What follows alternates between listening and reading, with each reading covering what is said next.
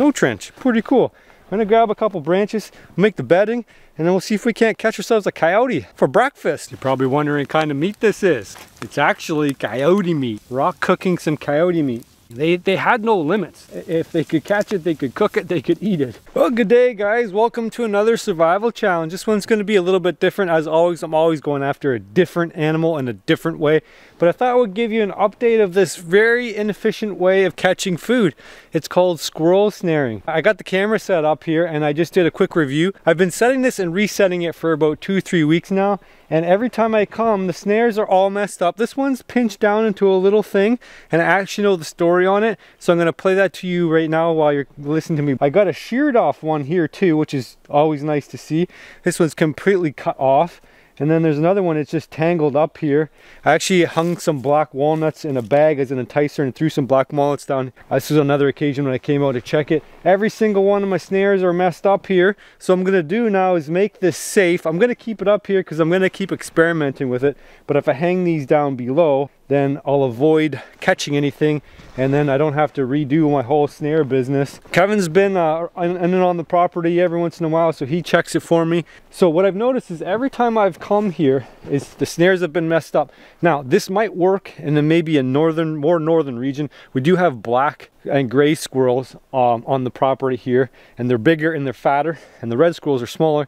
So what I wanted to do is avoid doing any belly catches on the red squirrel. So I made the snare loop pretty small so that they could just fit their heads in. So it could be that the black squirrels are just giant plows and they come through, plow everything out of the way, and then it's ineffective on the red squirrels. But there's no real way of, of making this such that you would not get belly catches on squirrel on red squirrels, but at the same time, time still be able to catch the black and gray squirrels if you catch what I mean.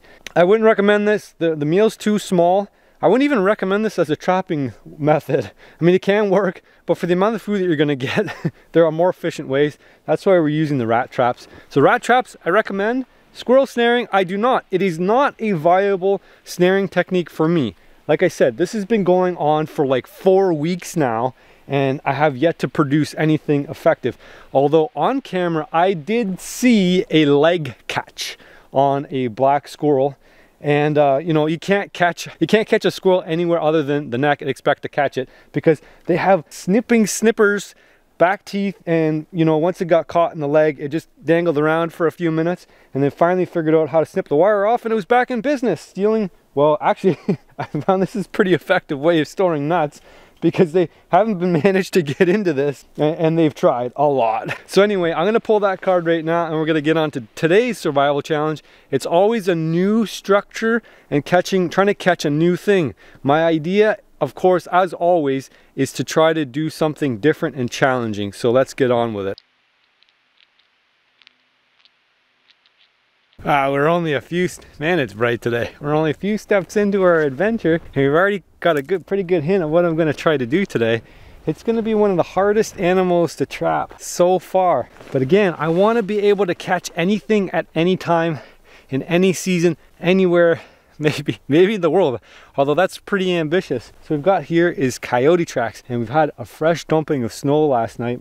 So these are brand spanking new and they're actually meandering through the swamp here and we're not going to be too far set up so we, we should be able to go after maybe this particular coyote. I do have some news for you guys. We'll check another camera up the way.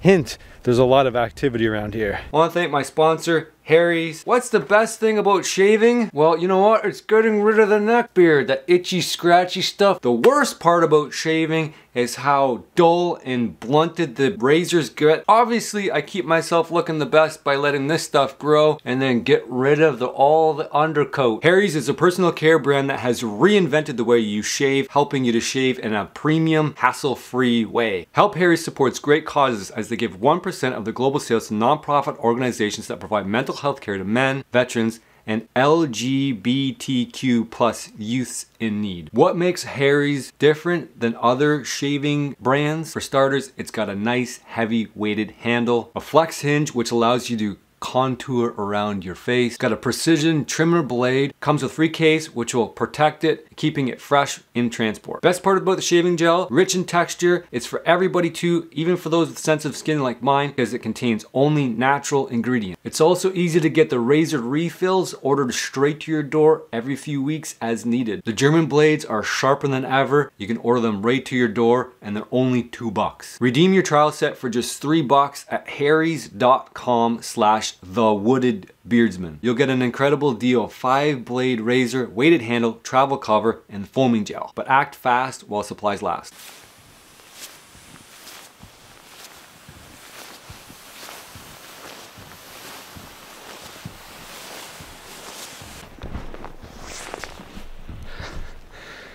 Whoo boy, that snow is deep, man.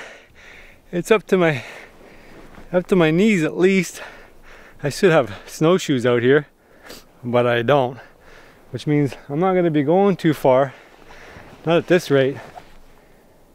I'm thinking I wanna make something, you know, that I haven't made yet. And uh, it, I don't have to put it anywhere particular. I wanna be out of the wind a little bit, which I am. It's not a windy day. I want to be kind of near a pine tree. There's a pine there, there's a pine there. There's some cedars here. The pine's what I'm after. But I don't know. I'm not real particular on this one. This is one of those things that you can just kind of build whatever. Obviously got the sled today and I got a little bit more gear than usual, but that's based on the animal I want to get. So you know what? I'm just gonna put the freaking shelter right here. In the comments, there's always comments, and there's always a couple comments that bother me. I know they shouldn't bother me, but I'm a human being, just like you. The guy that's never done it, or that's done it once, or has heard it one way, and it's been anchored into his mind, and then that's the only way to do it anymore. And you could sit under this tree here, and uh, you know, of course, one of the comments I said is that this is more shelter that you're ever gonna need, and then you can make a fire out front here, and this would be perfectly fine for survival the idea about survival is you're matching your survival shelter with the materials you have in the environment you happen to be in. I have spruce, I have cedar, I have snow. So it's gonna be something along those lines. Well, you know what? I'm always trying to do something different. I always need the gear to match the environment. I wanna show you kind of what the gear I have to work with today. As you know, I'm a licensed trapper. And so I got, I got foothold, foothold traps for coyote, I got some, I don't have any wax dirt, it's one thing I didn't have, but I have some uh, peat moss, which is a decent substitute. And uh, I've got some coyote scent, which I put in the jar because it was starting to bother. What's well, it's fox and coyote scent lure. It was starting to bother my wife. you catch my drift? A coyote, or was it a coyote? No, cougar. but I'm thinking fox smell. so anyway, she's my fox. And uh, what else do I have in here? I've got some other tools uh, supplied. So this, these are Duke traps. Uh, you look those guys up. They're a really awesome company to work with. And I also got a bunch of other gear from the, Can the Canadian Coyote Company, including a pretty cool digger uh, device thing to, get, to put the seat the traps in. And they, they're the ones that sent me the scent. And uh, I've got some other, a sifter, which I don't think I'll use today, but uh, I might. Mostly gonna rely on the snow and they did send me some uh, anchors and things like that, some other tools, tricks of the tools of the trade, I should say. Let's get working on this little snow trench here. I'm, I don't want it to take longer than about half an hour, 20 minutes, to, like something like that. Just get it done, bang it out, and then we can move on to actually trying to find some food. All right. Well, as for the shovel, I know there's a guy out there. There's at least 35 people out there who do not carry a shovel in the winter. And that's fine. Don't carry a shovel in the winter. You can borrow my shovel if you're hanging out together and you're gonna use it because a shovel is the most important tool to have in the winter. Have it in your pack. I got this light one, super duper light one, 12 bucks. You can get them on sale I've probably almost anywhere. Doesn't have to be heavy duty or nothing. This one's lasted a couple challenges already, so I'm a big fan of it. Uh, just a little scoop shovel. Bring a shovel. Don't bring a shovel. I don't care. Do your own challenge. You can do your challenge however you want. And this isn't survival straight up. Although probably some of the techniques I teach you about survival will probably come in handy if you ever happen to be so far in the woods you can't find your way way out. I mean, that's why you do this in various environments, various techniques, various materials is because that's going to make you better if you ever happen to need it. You guys got to see this, this is really cool. So I've only been digging for what, like maybe three minutes or so. But check this out. This is freaking cool. There's a hole in here and it's actually crystallized here solid. Now, I didn't make this. Trust me, I didn't make this here.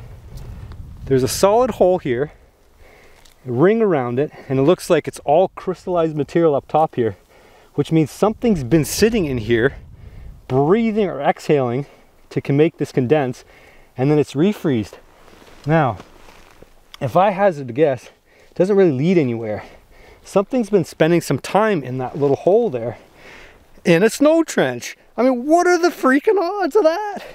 We found an animal who's doing the exact same survival strategy that we're doing. That just goes to show the importance and insulative properties of snow. It has a pretty, really, well, high, high R value per inch. Uh, you can look that up or maybe I'll include that in the description below. But uh, my buddy Jeremy, one wildcrafter, actually made a video of grouse exploding out of the snow or they crawl in and then they'll spend the night underneath the snow protected and insulated from the environment. And if a predator comes by, like a human being, they'll actually bust out of the snow. So go check out one, one Wildcrafter. So here's a little quick update on my snow trench. You can see it's probably high enough. Um, a snow trench environment, you want to be in about you know, five feet of snow. I think we're in about three feet of snow. So we're gonna bank the edges up a little bit. We're not gonna make it any wider than we need to because we still have to make a little bit of a covering. That's gonna come simpler than how we made the dome shelter. The dome shelter was out of cedars. This one, the objective is to make it a little bit more flat. I got a saw with me today, so I'm going to use it. I, you can make this shelter without a saw, don't get me wrong, and you're more than welcome to do it without a saw.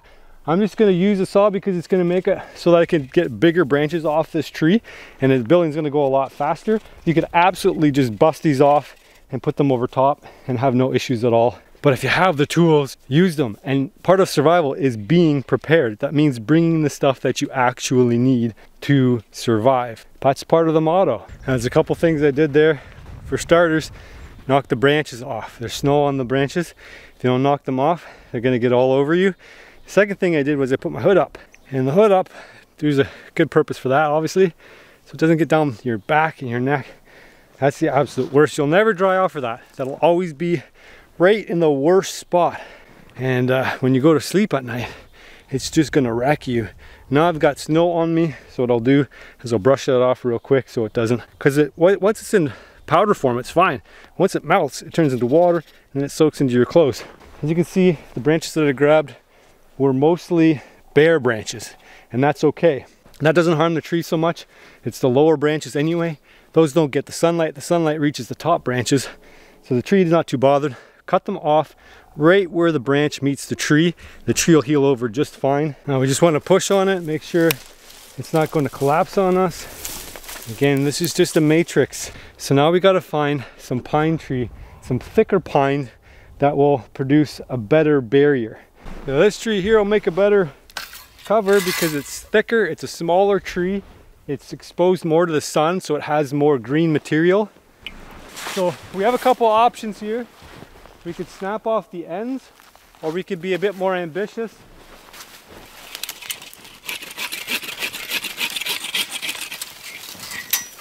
We'll grab the whole lower branches. You can see how much more dense this is, but it's not super dense.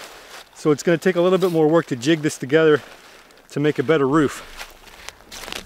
But with volume, we'll get there.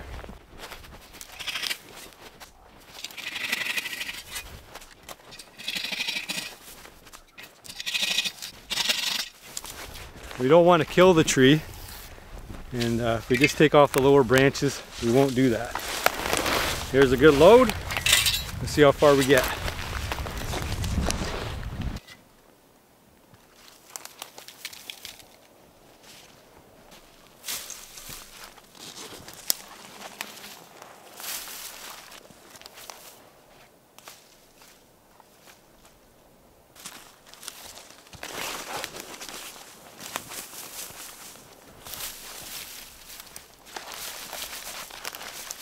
So that's about what you can make in about a half an hour. That's not bad. This is something, no joke, a half an hour that will save your freaking life. if you needed it to save your freaking life. Thankfully, we don't need it to save our life today, but you never know. One day you may need your life saved. So I'm pretty happy with that. In fact, I probably don't even need to add any more, but I will because I'm kind of a perfectionist when it comes to these things. I've got the ability to kind of walk around the shelter a little bit because I shoveled around and I kept my tail ends here and they're not too wide. Just in case there's a problem, you want to be able to address it. And as simple as that. Pile of snow, a couple of tree branches, you got yourself a freaking shelter. Well, you should probably go inside and make sure it's cool. Let's get a perspective on things. Now, one thing about the snow structure, snow trench, well, we need some pruning still, obviously.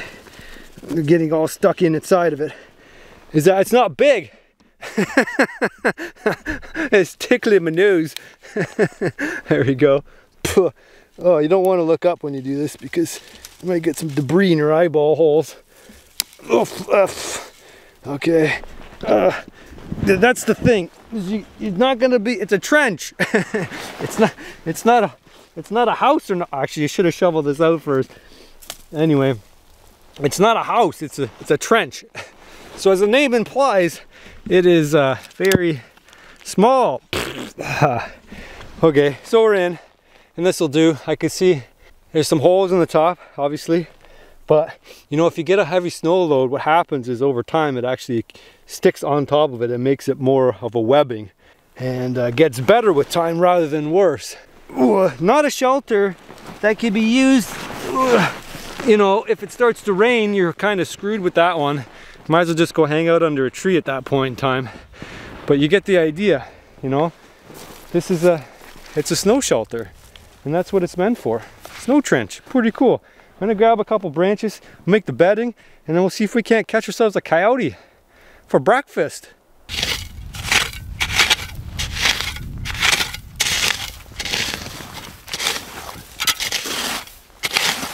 Hey man, can I borrow your shovel? Sure, you can borrow my shovel. I'm not gonna, I'm not gonna not lend my shovel. You need a shovel? I'll lend it to you happily. Come on over to the dark side. The dark side where you carry a shovel in the wintertime. this episode is called Roasting the Guy Who Says Don't Bring a Shovel.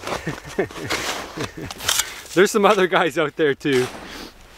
Oh, don't listen to this guy. He doesn't know what he's talking about so what? sometimes I, sometimes I don't. You know what? I've done some things and of course this challenge is all about, well, trying new things and testing out your skills. I mean, have you caught all the different animals that I've caught? So when you're in any environment, you can catch something not anything, and certainly not everything. That's one of the things too. How am I going to catch every animal of one species if I've only caught one animal of each species? That's the best way to preserve all the animals. If we started harvesting one of each, each person, then we wouldn't have just a bunch of cows, chickens, and pigs. And if more people ate bears, there'd be more bears. It's as simple as that. We'd be throwing our food waste in the bush to keep the bear population going, which is incidentally what bear hunters do. And so they probably feed more bears than they ever take and eat. So that makes it a renewable resource, the same as coyote. You manage to catch one, there's always going to be six more to replace it. And it's more about balance, keeping things in check and making sure we have lots of different animals, not just deer, not just coyote, but both. If all we take is deer, and we don't take the coyote, then the populations become imbalanced. And maybe you're the guy who thinks we shouldn't take deer either, and that's fine. You win.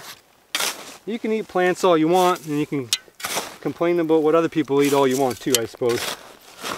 I'm not to stop you. It's all cultural. So depending on what culture you happen to live in, will dictate whether you think eating a dog is okay or not. Eating pet dogs is probably not okay in any in any culture. You don't eat somebody's family member, but a wild dog, coyote, where there's lots of them and they roam free and wild, sure, why not? Makes good eating. Okay, that's enough talking. Um, maybe I'll clear this area out a little bit more so that I'm ready to cook in it because I can't have a fire in here. It's just too much stuff. I got all cut up and things and I somebody gave me some really good advice. I'm going to balance out the good and the bad, obviously.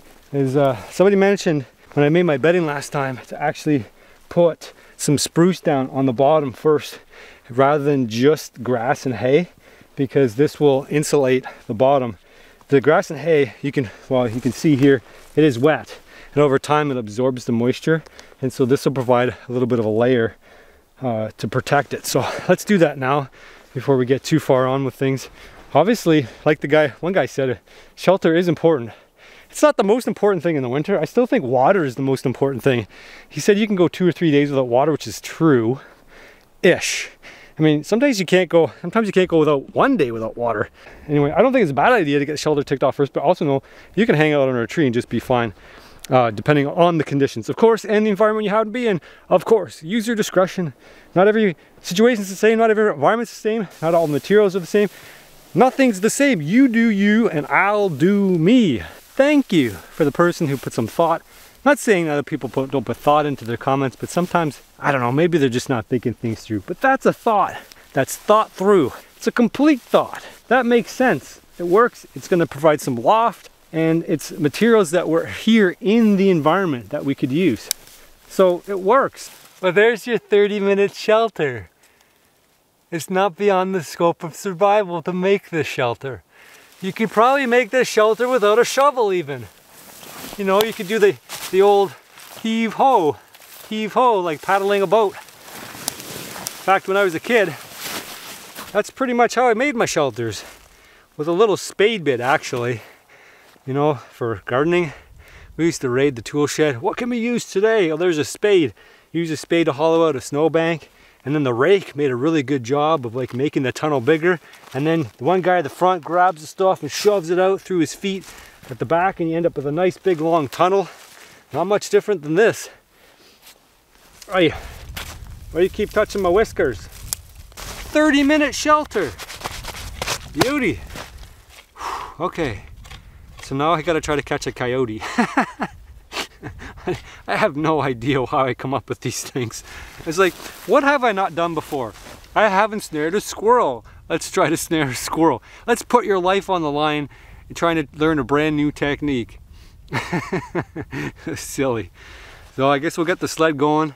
I do have an idea in mind where I've had the camera out for a few weeks and there's been miles and miles of coyote coming through the property on a regular basis. And I've seen I've seen some trails coming through here. What the coyote do is they actually do a, a, a, loop. And so like every three or four days they kind of blast through an area pick off whatever they can. You know the weak animals they're not always in the area which makes it more risky to try to catch one the same night. But I will this is something I will leave the traps out for a good length of time. And uh, if I don't catch one on this challenge we'll definitely revisit it. If I get one on the first try that'll be something all right, well, I got all my gear with me here. What's kind of cool is I'm following a coyote tracker right now, but I'm kind of in the low-lying spot. And so if I set the trap here, it's a foothold trap. If I set it here, the chances when it gets milder out, it'll start to melt and then that'll get, that'll make the trap ineffective. The whole thing about coyote trapping with footholds is you don't want the trap itself to freeze closed, or open I should say, because you need the tra trap to activate. So I'm still I'm still on tracks. They're all kind of scattered through the woods here, and uh, let's come around the bend. We get up to some higher ground over here, and near where the the camera was set.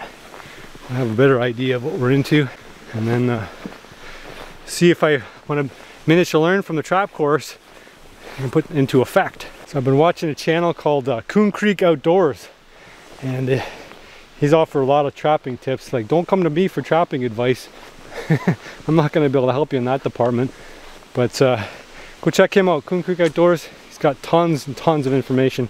Uh, trap all kinds of animals, including coyote. Now, I think I'm up to a spot here. Like, I've been following tracks the whole way.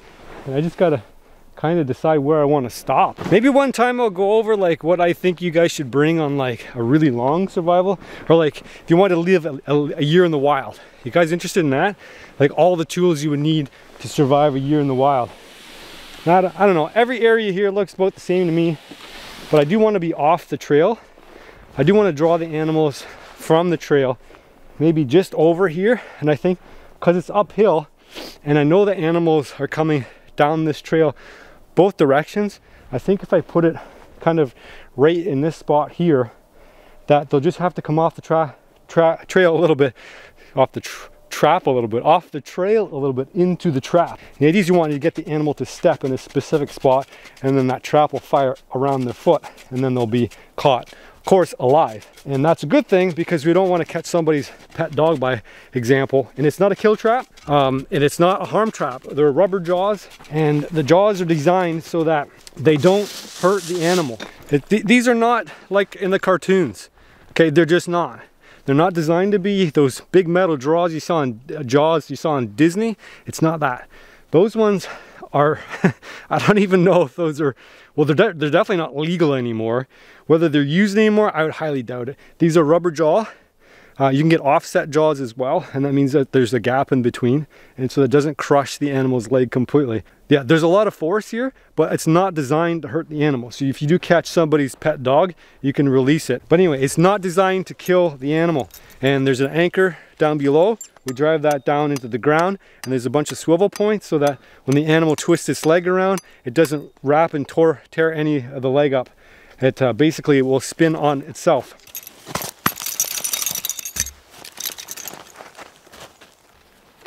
Ah, how's that for survival? Okay, so it's not survival. I don't know. Do you define survival?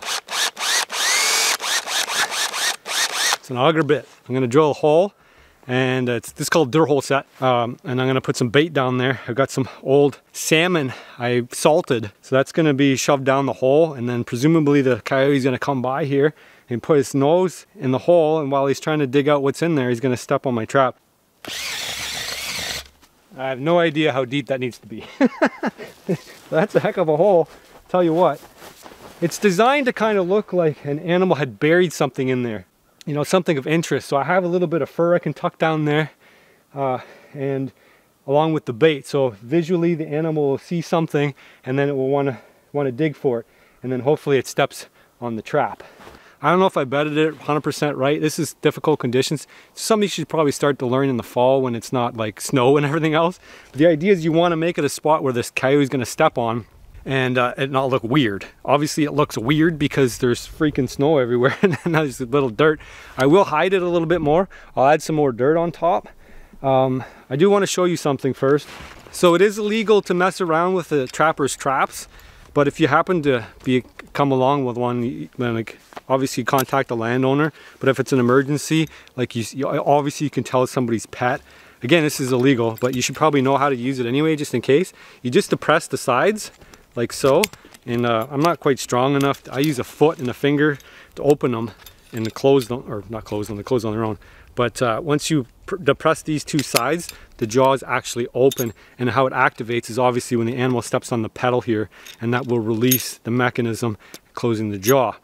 So it's pretty simple contraption and then the rest of it's just earth anchored down below and then once you pull up on the earth anchor it actually turns sideways and then it can't pull out of the ground uh, very well and then aside from that there's swivel points so you can see on here if I spin it it keeps spinning even though the top's not spinning because this is going to be down in the ground and then the rest of it uh, should spin as the animal tries to uh, free itself and again you got to check these traps every single day because it's not a kill trap. So this is some salmon I caught and uh, it's cold outside but it's not melting because I actually mixed some salt in there. So I'm gonna put like a couple spoonfuls of that in there and that'll uh, give off a pretty good odor for a long period of time and that's what you want. You want the trap to keep working for you. That's what survival is. You know, the mountain men that came out here and conquered the land and trapped for a living, they didn't hunt and fish with one rod, you know? with one gun. They hunted on their way to their traps. And trap is an integral part of how Canada was developed. Any professional trapper is gonna know you need like a pan cover, which goes over, over top of the pan to prevent anything from getting underneath the pan. or you could use a little bit of insulation. Uh, probably traditionally they would have used something else like um, leaves or gr dry grass. That will work, not well, but it'll work. Um, I got some birch bark, some yellow birch, and I'm gonna put, tuck that underneath. And it's not the right way to do it, but it's the way that I have today. I need some, I need some insulation to stick under those pans to make sure that it fires, that make sure dirt doesn't get underneath it and uh, keeps that loft. You know, you want that pan to depress really fast. And I haven't done anything to these traps. They're straight out of the box. I did, I did put them through the dishwasher to get rid of all the grease off them, but I haven't dyed them and I haven't waxed them. Again, too far into the season for me to get going on trapping, but here we are. So the only thing left is a little bit of coyote fox lure driving my wife nuts. Oh, now I'd rip the bag. well, I had it, I had it in a mason jar, plus a Ziploc, plus the bag it came in, plus it's in a jar itself. what is this stuff called? Forsyth, Forsyth Animal Lures K9 Triple Take, Fox Coyote and Lynx.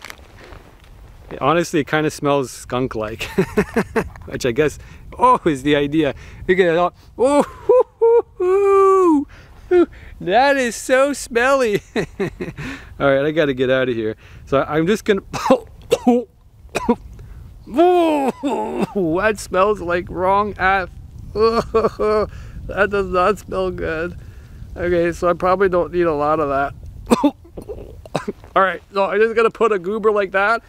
I'm just gonna put it right around the right around the bait hole here. I guess that's gonna draw them in. oh my god! it, it, initially it smelled like skunk, and then it smelled like death. okay, I got. I gotta put this away. Oh, no wonder it was driving my wife nuts. I thought it was because she was a fox. oh my god. Oh, that just smells like a dead animal. I do not want to get any of this on my fingers. Oh, oh, oh. Okay, I'm gonna set the trail camera way over there. That's what the set looks like. It obviously stands out quite a bit with the dirt there, but I'm gonna sprinkle a very light amount of snow over top just to make it kind of look normal. Just a little bit, a little bit of snow. I don't wanna put too much because that'll stop the set from working. It might make it freeze, although we're gonna have pretty consistent cold temperatures here. And, uh, you know, I don't want anything to kind of stand out, although, you know what, it stands out anyway.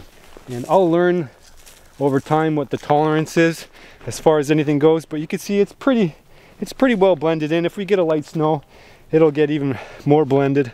So just got to put the trail camera up here now and uh, we'll get on to putting another set. Probably won't film that because that's not all that interesting to you guys probably. You guys are more interested in survival and you might not ever get to trap. But uh, we're gonna put the trail camera way over here so that if an animal comes from this direction here down that trail, it's not going to, it's gonna trigger the trail camera, but it's gonna be in that vicinity there by the time it goes on because I don't want the trail camera to be a factor for me losing my lunch.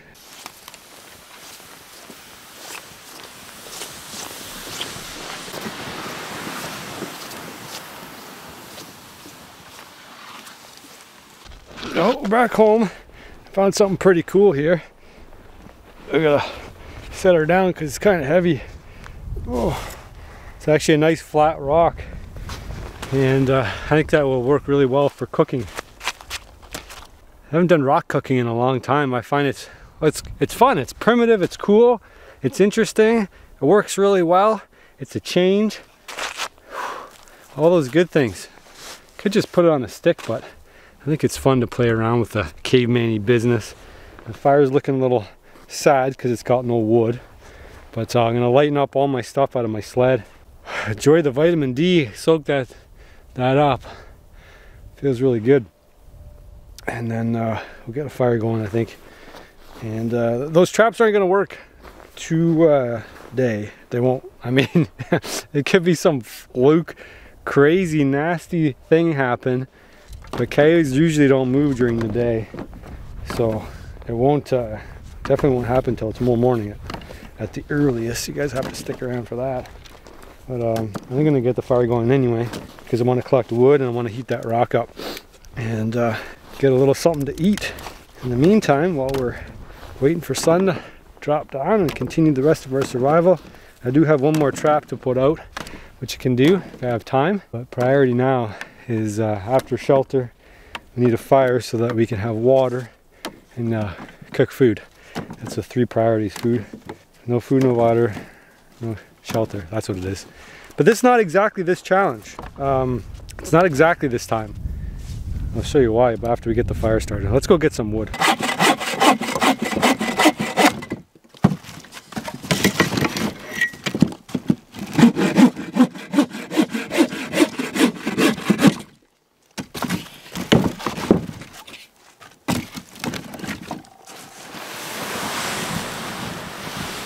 Luckily we got some yellow birch here. Uh, not as good as white birch, but it'll have to do. Good fire starter, it's got some oils in it. Hopefully you guys see the value of carrying a saw. And a sled too for winter. means you can carry so much more wood, make short work of it, carry bigger pieces, carry a lot more of it, and you can go a bigger distance to a spot that has the wood that you want dry standing dead standing wood you know collecting the stuff. You can see some of the stuff poking out here although it's not good quality stuff. But anything with has no bark on it this one's frozen down a little bit. But this will work here. It's a little bit heavier than what I would like. Um, but anything without bark and actually if you're smart and you own property what you can do is actually prop them up against a tree like this and then next time you need it it will be nice and dry. But that's a long-term strategy, and that's something that we're mostly concerned about when it comes to survival. So you got a good chunk of wood here, head back, get the fire started, and then once it's started, then we can always collect some more.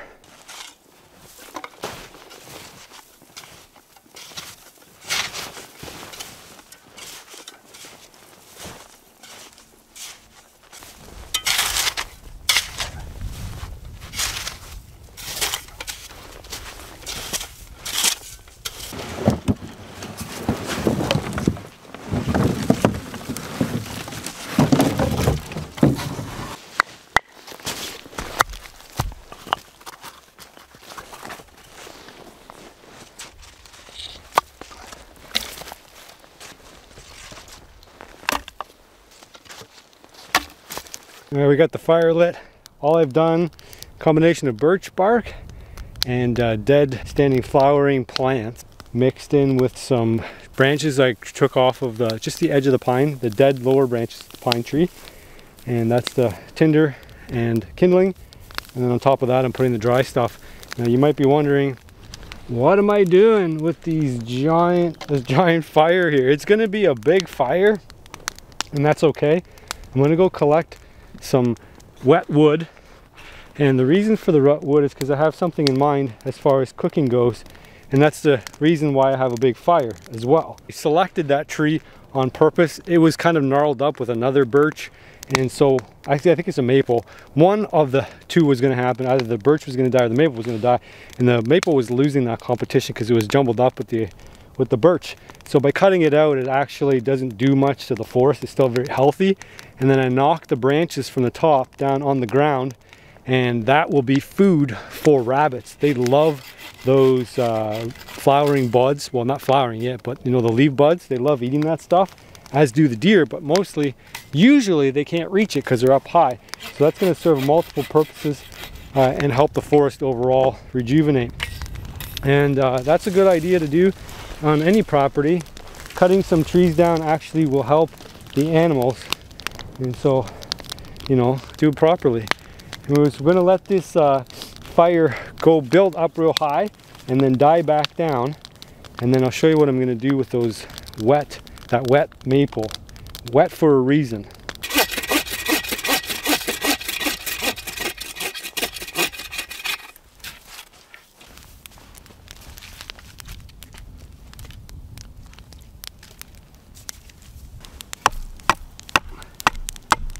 I could take this rock and just put it right on top of the fire. That'd be option number one. It's not a good option. The rock will get too hot too fast and then I won't be able to put anything underneath the rock anymore. It'll still work, it just won't be able to control the fire as well and uh, it'll risk breaking the rock just because of the intense heat. So that's option number one. Option number two is I could find some other rocks that are tall enough, like fairly tall, right? And then I can put that underneath. Finding a rock is really difficult in the winter. I happened to know where this rock was, so I was able to find it. I had made a mental note of it. I actually propped it up against a tree in the snowbank. Well, it's in the snow now, but uh, I knew exactly where to find it. To find another rocks in the winter, almost impossible. That's why I was never firing in the winter. Just there's no way to find them. They're frozen down to the bottom. So that'd be option number two. So option number three, of course, is the one I'm going to use. So what I've done here is I've kind of sharpened the end a little bit. And uh, when I was setting the, the uh, coyote trap, I did notice that the ground is actually not really frozen for some reason. It's been like, I wouldn't say it's a mild winter, but the snowfall is protecting it. So once I pound these down deep enough, it actually, you know, goes in the ground pretty good. Now I'm not going to make it this high, but what I am going to do is going to pound it in to the as much as I can, and then I'll just cut it off where I can't put it in anymore. That's a pretty simple solution. And then I'll get an idea of the height I want to make it. So um, I could wait a little bit longer for that fire to die down, but I think I'll just put it in right now and adjust it while it's kind of going and then I can maybe start heating that rock up and I'll show you I'll show you what I have to eat too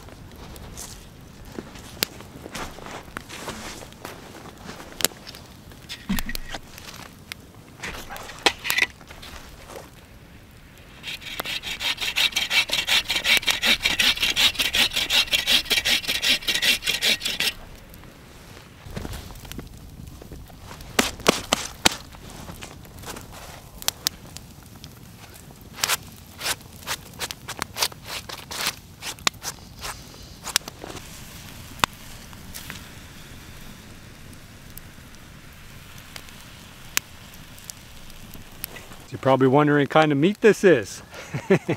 it's actually coyote meat. I saved some back from the coyote I shot last year, so it's the back straps, um, because I knew tonight I wasn't going to be able to uh, get anything to eat, and I wanted to be authentic, authentic to the challenge. And so here we are, rock cooking some coyote meat. Now I will advise you, for any canine, not to eat the legs. Um, I had a bad experience with eating the legs before. It tastes like wet dog, uh, but the back straps are fine to eat. And uh, there's probably a way to cook the legs so they don't taste like wet dog. I just haven't figured out how. You know, all animals have a scent. I've told you this before. Even uh, porcupine tastes kind of like BO, you know, tastes like armpit. And uh, that's because if you miss the gland, that's what happens. And uh, you know. Every animal is edible. Porcupine, they ate woodpecker, they ate loon, they, the common loon. I don't know if you guys know what a loon is, some of you guys don't, but um, it's a water bird and it's very oily, so I can imagine it tastes very pungent.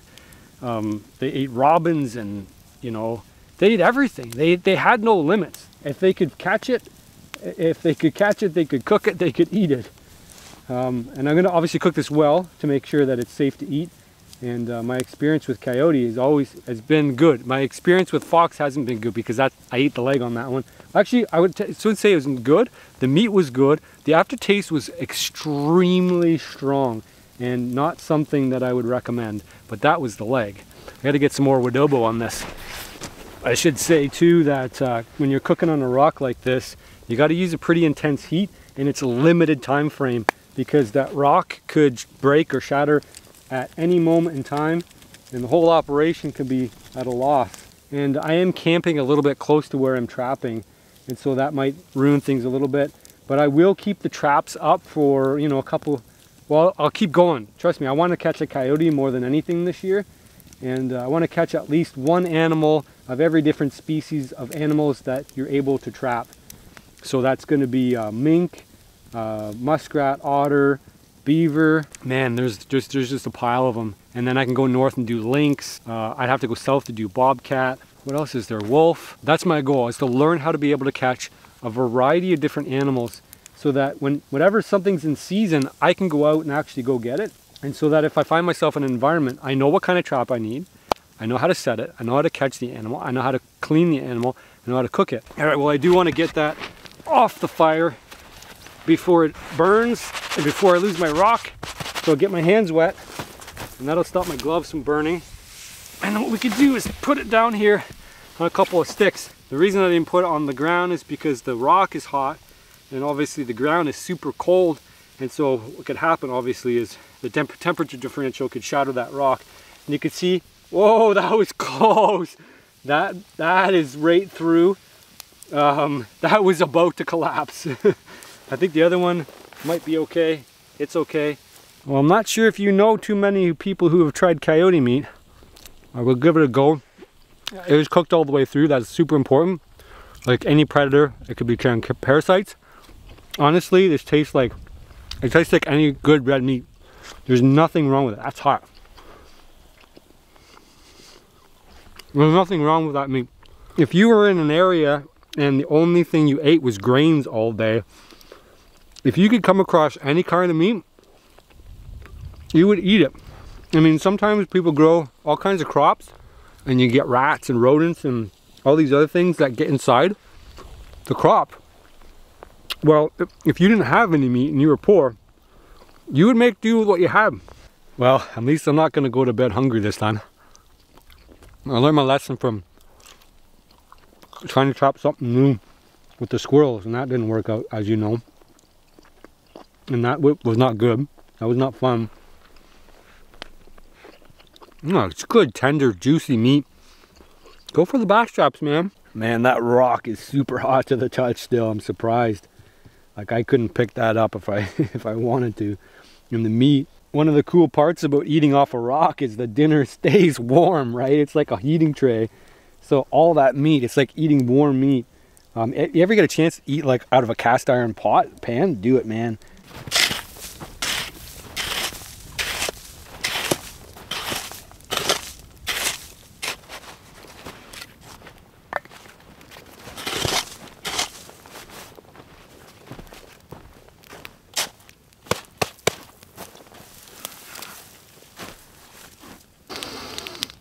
Oh, loving this. Got a beautiful fire. Actually, I don't have much short of, a, of wood around here, so I don't mind making a big fire. Plus, I got food in my belly, which is, of course, a rarity. I'm hoping those trail cameras really tell us the story about how the coyotes respond to, you know, intrusion, and smell. So whoever suggested that, putting that spruce boughs down and then the um, the grass on top, that's a big, that's a, that's a good one. I like that one. Last piece of meat, anybody want to try it? I know more than a few of you would give this one a go. How cool is that? Just put a couple pieces of, a uh, couple sticks down here underneath, cook, serving platform. And the funny thing is it's still warm. I'm not lying to you. Try it. Coyote backstraps for the win. Oh, a couple more chews and I'll show you guys inside here. This is for snow exclusively. Like, don't think you can get away with this for other things. It's not a rain shelter, it's a snow shelter. Just long enough to fit my body in. Oh, we'll do another wood run there. See if we can't drum up something. Maybe we'll find a squirrel or something, you never know knock it in the head with a stick.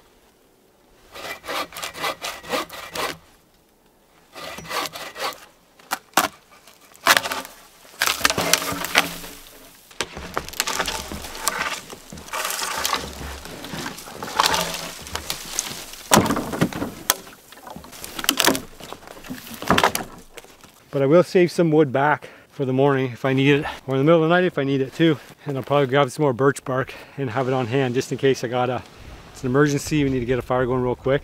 So there'll be a tinder bundle ready, there'll be small branches ready, and then there'll be enough wood to get a decent fire going if I have to.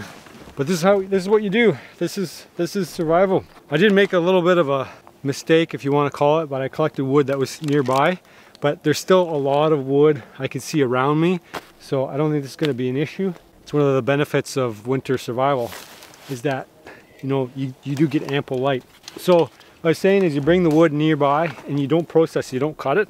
So if you wake up and you're cold, cutting the wood will actually heat you up. Beats wasting energy going for a run and I'm warm now, so I don't need to get warmer. So just drag more wood here, throw it in the pile, and uh, keep doing that till you run out of light. That's all you can do to stay warm in the winter.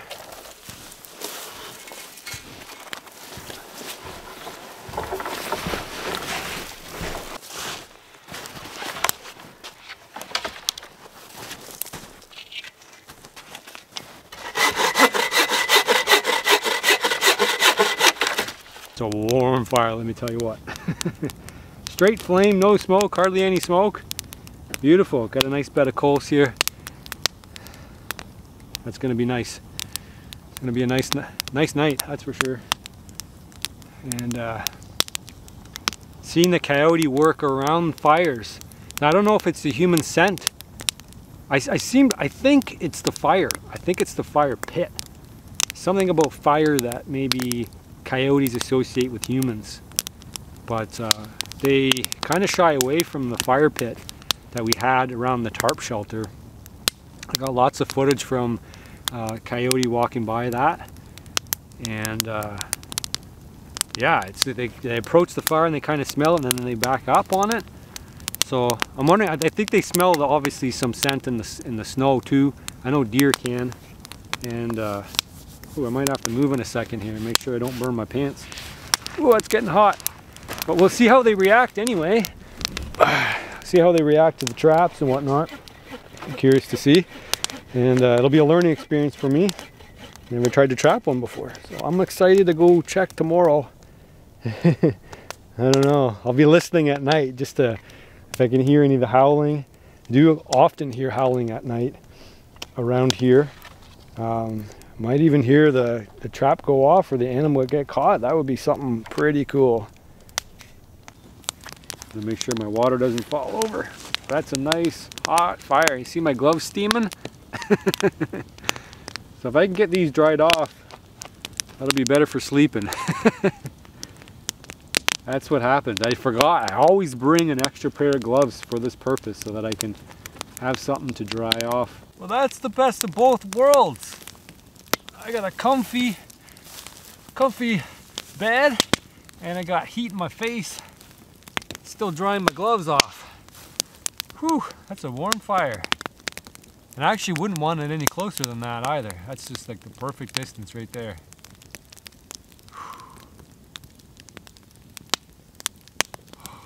Man, that's relaxing. There's nothing more relaxing than that.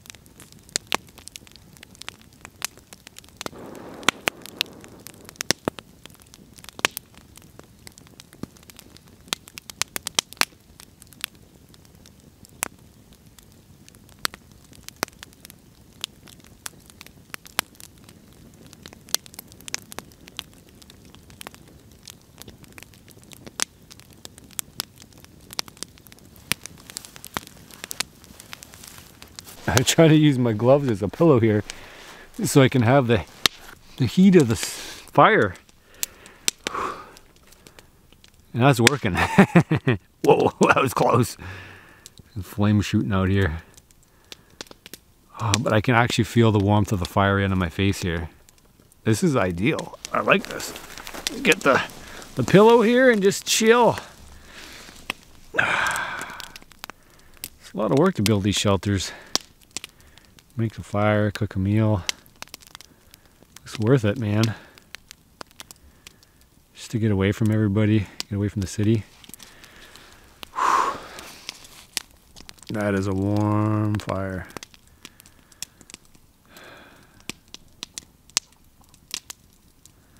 I always wonder how long to ramble on to you guys for. well, it's getting dark and I kind of run out of things to say, so I'm gonna hit the sack and I'll catch you guys in the morning. Find out if we caught a coyote.